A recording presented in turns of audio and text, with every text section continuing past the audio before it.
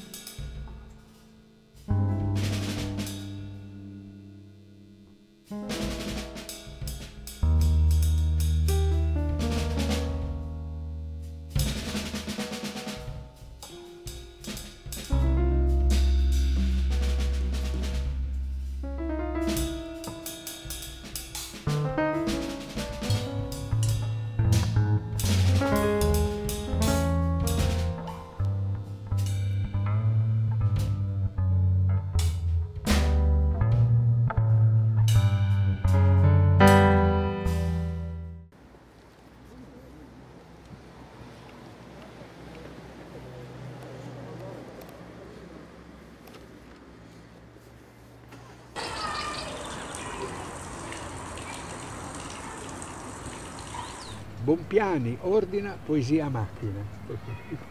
Eh, questo programma che poi è stato trasformato in schede perforate, che su queste pagine dell'almanacco Bompiani è riprodotto uno schema, sì, uno, uno schema di, di, questo programma. Il programma è la, è la cosa mo, molto semplice, banale, ecco, perché a me interessava, l'idea era di, di utilizzarlo per utilizzare questa macchina per la poesia perché per le sue capacità combinatorie. La poesia è tutta fatta di combinazioni, nella poesia si combinano i versi, le sillabe, le strofe, è tutta basata anche su dei calcoli, tutti i versi hanno un numero, il numero delle strofe, il numero delle cose. No? Ecco, per cui c'era una affinità eh, con questa roba qua, eh, con, con, con questo lavoro. E poi quello che mi, che mi piaceva era che non, non, solo la capacità combinatoria, ora tutto questo lavoro che ha fatto il computer io avrei potuto farlo a mano, ci mettevo un tempo enorme di più rispetto a quello che la macchina ha fatto poi in, in pochi minuti. Ecco. E però questo era, aveva il vantaggio di creare una cosa imprevedibile, perché se io facevo tutte le combinazioni a mano sapevo quello che stava facendo mentre dal lavoro del computer mi sono saltate fuori delle cose che non mi immaginavo, che, che, che erano... per cui rientrava anche questo gioco del, del, del, caso, questo gioco del caso che era anche legato a questa cosa della poesia, come i surrealisti dicevano, mescola de, dei versi in un cappello, sarà, diceva, poi, poi tiri a sorte, fare una poesia costruita unendo casualmente i versi. E, e, e questa combinazione, questa operazione combinatoria, cioè questa cosa qui entrava molto, secondo me, nella storia della poesia, non era una forzatura esteriore. Io mi ricordo quando poi è venuto fuori lo stampato delle poesie, un pacco così di, di questi fogli grandi che, si, che si piegavano. Qua è riprodotto un, ecco, estratto. questo pacco. C'erano migliaia e migliaia di... in pochi minuti mi ha fatto migliaia e migliaia migliaia di, di diverse poesie, ecco, per cui era abbastanza affascinante. Poi io ne ho scelti due o tre così. C'è stata fatta un'ulteriore ricombinazione di pezzettoni oppure è stato preso un pezzo? No, pezzo. Ah.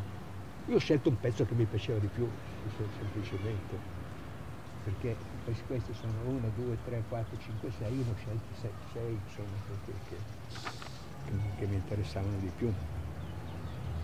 E questa qui è stata anche abbastanza emozionante perché voi le avrete viste, ci sono due fotografie che sono state fatte lì, no? Di, di una che sono con... Lì sono venute Umberto Eco e um, il musicista Berio, Luciano Berio. Erano lì? Erano lì presenti al momento in cui si, si, si, è, fatto, si è fatto... Quando è uscito il risultato dalla macchina? È uscito il risultato dalla macchina, sì. Rumore bianco filtrato per terzi d'ottava.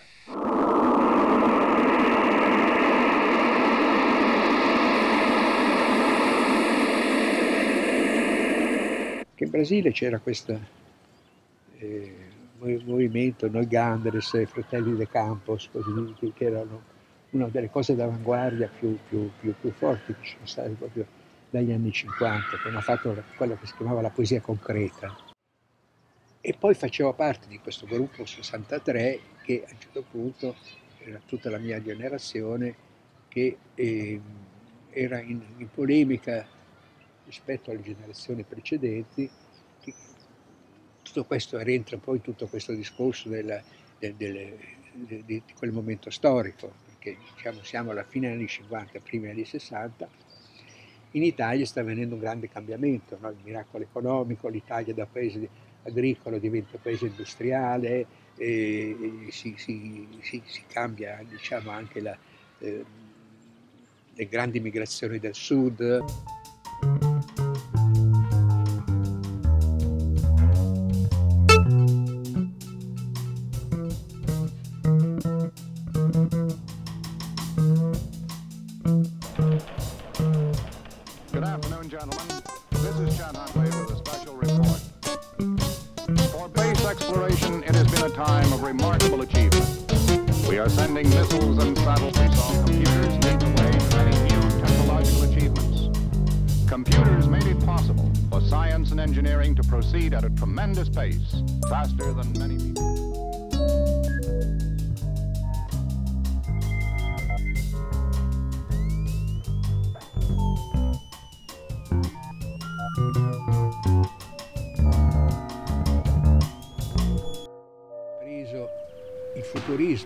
Stato il primo grande movimento d'avanguardia, che però del dopoguerra era veramente osteggiato perché erano considerati tutti fascisti, per, per cui diciamo, specialmente il Partito Comunista che era, dirigeva la cultura aveva fatto l'ostracismo per il fascismo.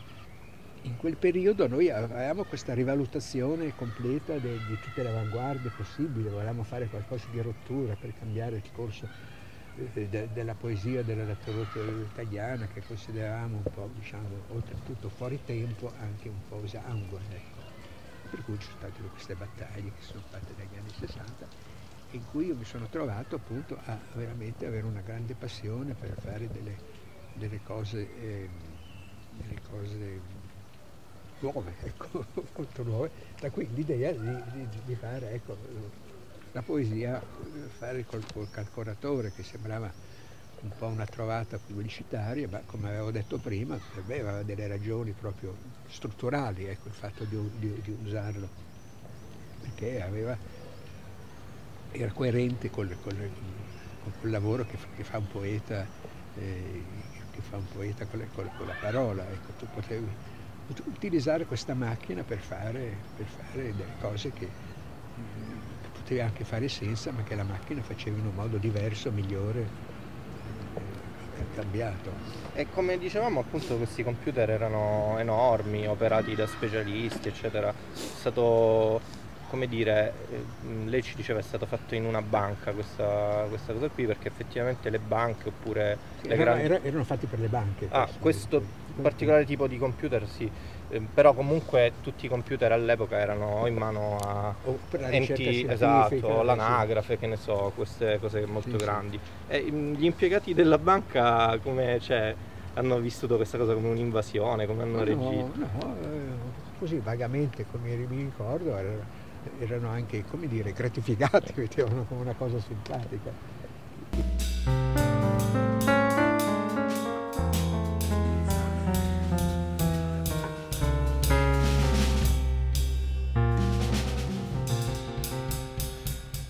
Giuri poi questo movimento francese degli anni 60, fatto da questo, i nomi non mi ricordo bene, del Lyonnais, un matematico francese, che ha messo insieme un gruppo di persone per fare questa letteratura sperimentale.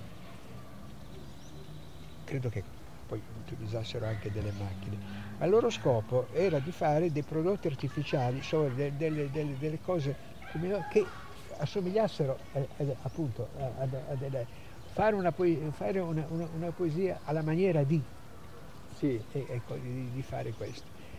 Un rimbo virtuale. Sì, sì. E, beh, è come, è come io non, non, non, non, trovavo molto senso su questo, se non sì, vabbè, una, un lavoro sperimentale, eccetera. A me interessava fare delle cose nuove che nessuno ha mai fatto in una maniera, una maniera completamente diversa. Ecco credo che veniva un po' da quello. mi sono sempre detto che sarebbe interessante, come invece di avere delle immagini fisse, fare queste immagini in movimento, cosa che, che, che, che puoi fare col computer. Ecco. Però non, non, ho mai avuto delle idee o delle cose per farle, però mi sembra delle cose dove le parole si muovono, appaiono, scompaiono, eccetera.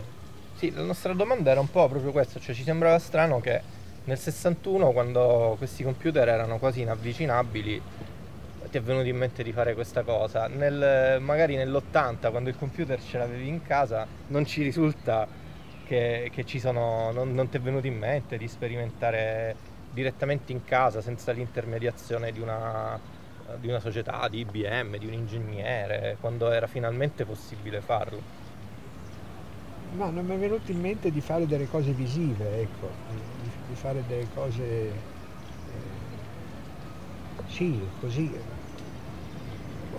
Forse ho provato di fare delle altre cose combinatorie, perché allora era, era, non mi ricordo più come si chiamava, ma c'era una, un sistema col computer potevi fare delle semplicissime combinazioni. In qualche de, software? De, delle istruzioni, questo già proprio sui primi. No, io computer ne ho avuto uno dei primi, avevo, cos'era, Olivetti M40, uno dei... dei Serie M. Eh, dei, dei, primi eh, l'ho avuto, perché avevo partecipato, stavo a Parigi allora, a una mostra che c'è stato a Boburg, questa mostra che aveva fatto Lyotard, che si chiamava Les Immatériaux, che era tutta una mostra fatta con cose, sì, che venivano dal computer, ma venivano, eccetera, il, il della cosa. E quello era molto interessante, aveva fatto poi anche un bel catalogo, che io purtroppo non ho più.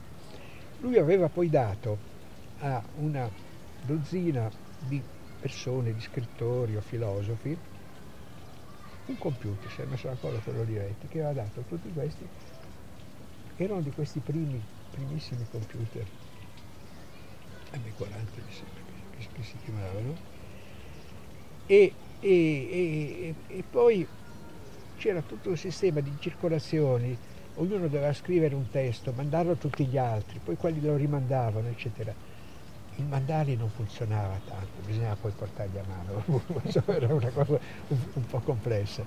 Però era abbastanza divertente, io appunto rielaboravo le, tu, tu, tutti i testi che mandavano gli altri, cioè aveva fatto un po' questo, questo, questo, questo, gioco, poi è stato un po' alla fine, che poi li avevano esposti, pubblicati anche questo catalogo degli, degli materiali. Quella è una cosa interessante, ma non so se si trova ancora, sì, in biblioteca si trova certamente.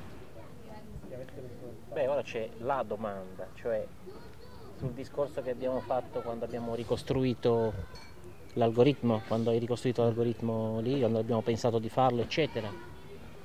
Sì, noi ci stiamo arrovellando, essendo due musei, ci stiamo arrovellando da tempo e non ne verremo mai a capo, ne parlavamo no. ieri sera, su che cosa significa ricostruire qualcosa, perché è, in alcuni casi è impossibile o comunque eh, sempre, sempre, ci sono sempre delle scelte di mezzo, per cui non c'è il metodo, un metodo, eh, questo ce l'hanno spiegato anche insomma, degli archeologi. E anche senza che ce lo spiegassero loro si capisce che nell'archeologia per un periodo hanno fatto in un modo, per un periodo che ne so se mancava un braccio si rifaceva, per un'altra una statua, per un periodo invece no, si doveva lasciare tutto com'era, per cui non c'è un metodo definitivo per ricostruire un'opera nel caso delle, dell'arte al computer... Costruire cosa significherebbe? Eh, appunto, è un problema. Dal, di, cioè, dal concetto di restauro. Perché noi come musei, come musei dell'informatica siamo un po' limite. Sono computer, quindi è roba relativamente recente. Eh, non so, l'approccio dei collezionisti è di rimetterli perfettamente in funzione come se fossero nuovi L'approccio di un museo è di preservare ad esempio anche i difetti che raccontano la storia di chi ha utilizzato il pezzo. No? E noi tra l'altro scendiamo anche nei dettagli del software, quindi raccogliere il software che magari le persone hanno scritto con questi computer, le storie di queste persone, perché hanno usato quei computer, in quali contesti Ma perché e così via. quello schema lì riprodotto nel libro non, non, non serve per ricostruire Sì, sì, infatti, infatti, è quello che abbiamo fatto, però ci stiamo ponendo il la domanda che abbiamo è cioè, qual è l'opera? È l'evento che è stato fatto nel 61? È l'algoritmo? È il tabulato che è venuto fuori? È, l'idea? la pubblicazione di questo pezzo di carta qua, del, del, È questa la domanda che, pubblicazione. che ci chiediamo? Qual è l'opera effettivamente? E tutto questo insieme e neanche? L'opera questa somiglia un po' a uno spettacolo di teatro. Che, che tu dici qual è l'opera? La rappresentazione o, o- Eh, sì. o- o il testo stampato? E anche qui è un po' la stessa cosa, voglio dire, il- eh, la rappresentazione è il testo, è il testo che c'è. E, e, il testo stampato in un libro di un, di un- di un- di un- di un lavoro teatrale è l'algoritmo. Certo.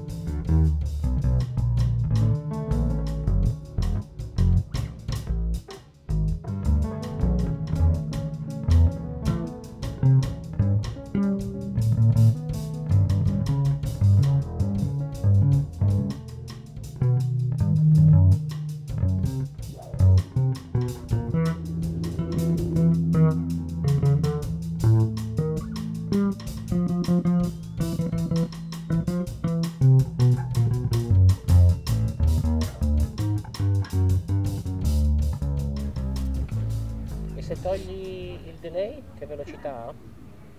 Eh, va veloce. Prova.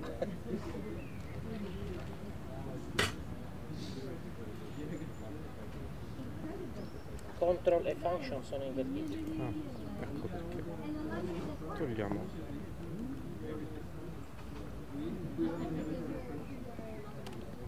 Eh, va veloce. Accidenti, è be- bellissimo. Già.